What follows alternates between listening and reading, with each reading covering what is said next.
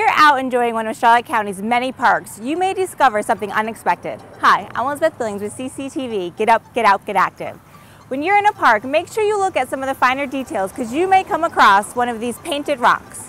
I'm here with Vitaliy from Charlotte County Parks and Recreation to find out why these are popping up at our parks. Hi Vitaliy, thanks for joining us. Why are these rocks showing up in our parks? These rocks are showing up in our parks as part of our Rock Out Charlotte uh, group. It's a group based on the Kindness Rocks project and it's meant to inspire creativity and energize people to get up and uh, explore our beautiful parks. If someone wants to put rocks out, is there anything special that they should be putting on these rocks? They can paint anything they want on it. It can be simple art or it could be animals, it could be inspirational quotes, anything that will get out and brighten someone's day. Now that is that the goal of this is you, you find the rock. Now what do you do with the rock when you find it? When you find the rock, uh, you're supposed to take a picture of it and share it to our Rock Out Charlotte uh, Facebook group.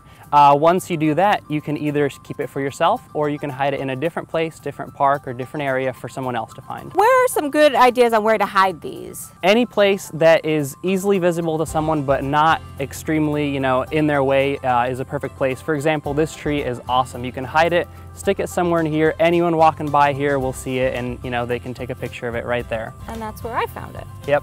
How do you know what Facebook website to post it to? So when you find this rock, usually if you flip it over, um, it will have a hashtag of Rock Out Charlotte or any other group on there, and you can take a picture of this. That way you know where to post it on Facebook. Uh, can you take this to another location and hide it? Yes, you can. Okay.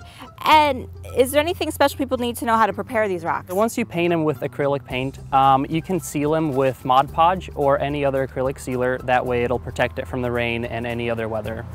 Where could someone go and get more information about Rock Out Charlotte? To find the information you want on Rock Out Charlotte, uh, you can visit our Facebook page, Rock Out Charlotte, and we have um, information there that will tell you all about it.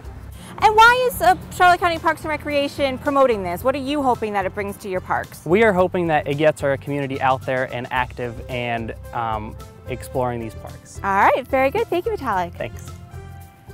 We want you to get up, get out, and get active in our parks. And I can tell you from personal experience, you bring your kids to a park and they will run around trying to find these rocks. I'm Elizabeth Billings reporting for CCTV. Get up, get out, get active.